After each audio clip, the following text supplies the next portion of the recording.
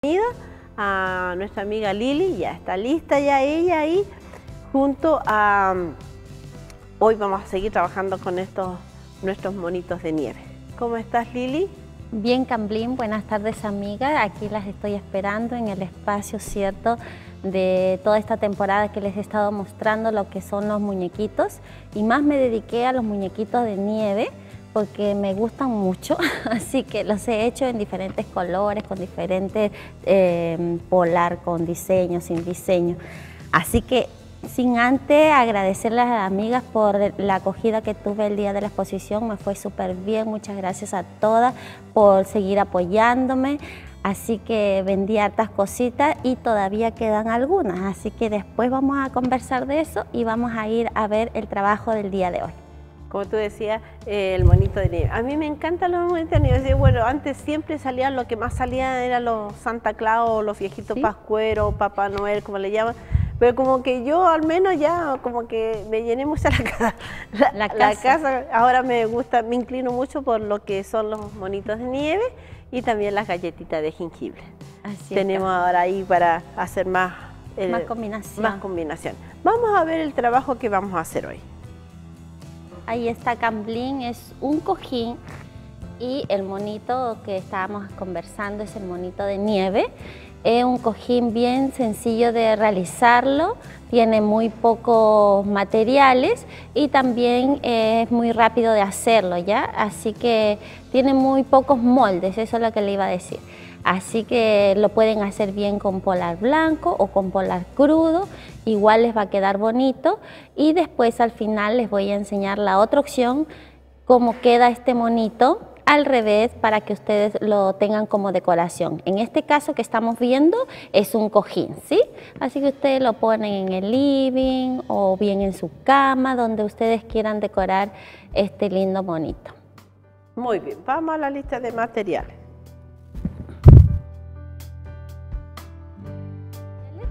Son 50 centímetros de polar crema o blanco, 50 centímetros de polar con diseño, una nariz de cerámica eh, en frío, un par de ojos negros, 250 gramos de algodón sintético y una decoración navideña que puede ser una piñita o perlita, ahí lo vamos a ver cualquier decoración para lo que es el sombrero. Muy bien, ahí estaba la lista de materiales, amiga. Sí. Son ¿Vamos a trabajar? Sí. Son muy poquitos materiales, Camlin, como decía, era solamente medio metro de polar liso, en este caso para el cuerpo, y yo puse tela doble, fíjense aquí, aquí estamos con el cuerpo en sí, aquí tenemos el molde, lo ponemos encima, lo marqué el molde y después con tela doble, obviamente, dos partes. Después de eso que hice, cosí, lo abrí y lo cosí completito. Entonces ahí ya tenemos lo que es el cuerpo de nuestro monito de nieve. ¿Qué es lo que realicé luego? Todos los moldes ustedes lo tienen que traspasar y coser completo, ¿sí? Entonces en este caso voy alzando solo una tela y le voy a hacer el corte en la altura donde tiene esta curva. Esta parte que está aquí serían las piernas, ¿sí? Por lo que está con las piernitas abiertas este monito y esta es la parte como del cuerpo. En el cuerpo le vamos a hacer un corte para yo poder dar vuelta mi, mi trabajo. Entonces, a esta altura, ¿por qué, amigas? Porque aquí es donde después uno pone la cabeza y entonces no se va a notar ese corte que nosotros hacemos. Entonces lo damos vuelta a nuestro trabajo quedándonos de esta manera. ¿Ven? El corte es del tamaño que alcance su mano porque ustedes tienen que después dar bien vuelta todo lo que es la costura. ¿Ya? Y nos va a quedar de esta manera. Una vez que ustedes den vuelta, ya sea el cuerpo, sea el rostro, este círculo, también siempre yo corto un cuadrado, marco la circunferencia que es para nuestra cabeza y después de eso recién se corta el excedente, amigas, para que les quede perfecto el círculo, ¿sí? Porque si ustedes lo cortan al ras del círculo, después la costura eh, le va a disminuir el rostro. Entonces la idea es cortar un cuadrado y dentro de la circunferencia que yo corté aquí y después se pasa la costura, ¿sí? Cuando ustedes den vuelta, ahí quiero igual como el cuerpo, ustedes alzan una telita, ¿ya? Como por calculando el medio y le dan un corte casi en la parte de arriba, no en el medio de nuestro círculo, sino casi en la parte de arriba.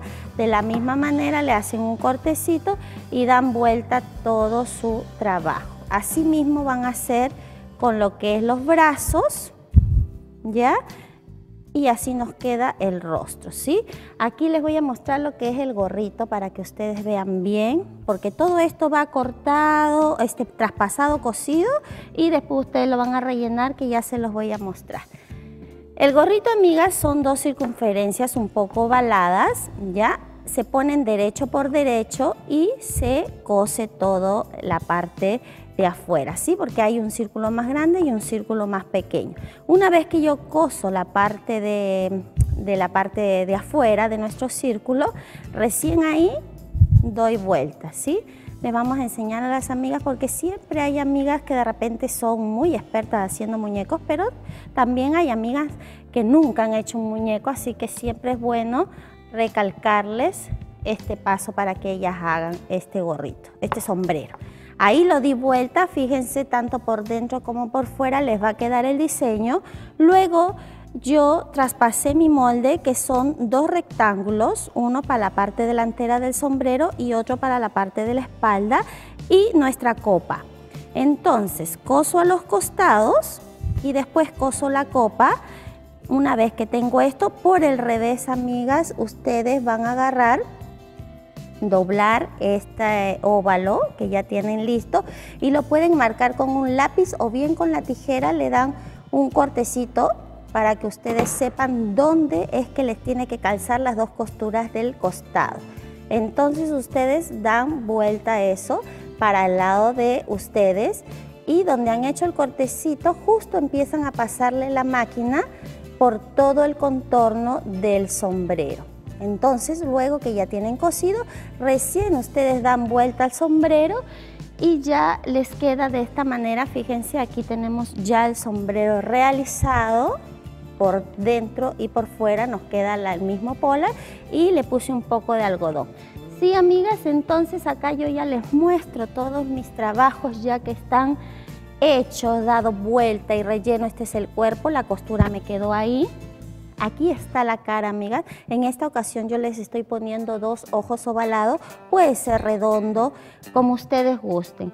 Los brazos nos quedan de esta manera. Ya, esos eh, son sus brazos. Esos son sus brazos, ya traspasados, cosidos y rellenos. Ustedes en costura envolvente le hacen esta costura a los costados.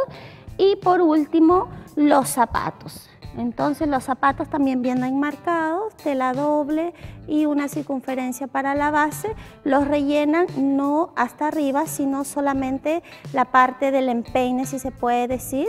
Se deja esto libre. ¿Para qué? Porque ahora esto que nos quedó libre yo lo voy a poner en donde me corresponden las piernas. Vamos armando nuestro mono de esta manera. Este es para el cojín, ¿sí? Entonces ponemos por ambos lados un poquito de silicona para que quede pegadito al tiro. O bien, amigas, si ustedes gustan, lo cose. No es necesario, más rápido es echarle la silicona, pero amigas que de repente no saben usar todavía la pistola, pues le lo cosen. ¿Ya? Entonces ponen la otra piernita, por eso es que no lo relleno todo, porque me tiene que calzar justo en el lado de la pierna y ahí le echo la silicona. Ven amiga. Aquí con un pedacito de piel como está en el terminado ustedes cortan un trocito y lo pegan para que no se vea esta unión del zapato con el cuerpo. Ya entonces teniendo la cabeza ya hecha ustedes la ponen en este lado. La vamos a pegar un poquito Ustedes en casa por tiempo yo la estoy pegando, pero en casa, amigas, ustedes pueden coserla, ¿sí? Para que les quede más firme, para que no se le vaya a despegar. Entonces, en esta justo donde está la costura, ustedes ponen la carita, ¿ya? Y los brazos, amigas, van debajo de la carita, es por eso que no le eché silicona todo, solamente a la altura de los ojos por la parte trasera. Y ahí estamos con los brazos, vamos, lo presento primero, un poco abajo y un poco arriba, para que quede pegadito. Recuerden que en casa ustedes lo pueden, eh, lo pueden coser. ¿Ya? Entonces un poco de silicona abajo y arriba. Este trabajo es, relativamente fácil para las amigas que recién están iniciándose o bien para la amiga que le gustó el diseño lo puede hacer, ¿sí? Aquí en el sombrero, porque hay trabajos que de repente cuando les he enseñado al ponerle la madera, al ponerle la, la arenita, entonces ya es más complicado, ¿sí? Entonces los cojines son como más más facilitos de hacer.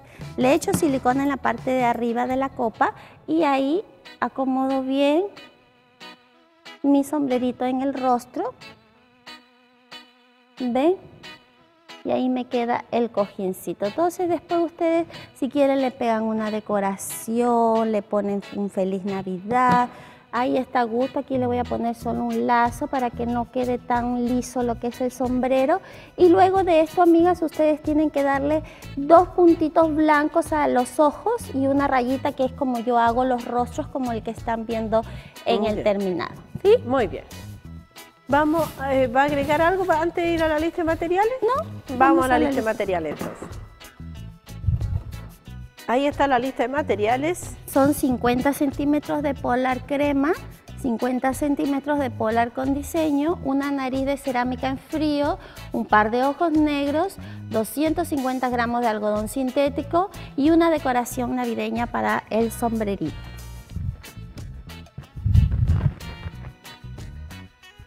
Bien, ahí está la lista de materiales para hacer estos simpáticos cojines. cojines. También yo le quería agregar a la amiga que el mismo molde del cojín, bien, ven, acá se los voy a mostrar, está en otro color, pero son los mismos eh, moldes, todo, pero aquí lo puse al revés, ¿ven? La este cara. Este se cuelga. Y este se cuelga de aquí. ¿Ven? Entonces este va colgadito, ahí ustedes lo ven, y tiene un adornito como que él, él está bajando a decorar, ¿cierto? Pero es el mismo molde, pero puesto con las manos hacia abajo, el cuerpo va eh, a todo al revés. ¿Ya? Entonces bien lo ponen en la pared como usted les guste, pero es el mismo molde para los dos trabajos. Así que amigas, yo las sigo invitando para los cursos porque todavía estoy con cursos los días sábados y los días martes de 4 y media hasta las 7 de la tarde en Uribe 655 en La Limeñita. Así que ahí estoy con este y otros eh, muñecos más. Muchas gracias, Cambly. A ti, Lili, nos vemos la próxima semana. Así es. Nosotros nos vamos a una pequeña pausa comercial y luego regresamos.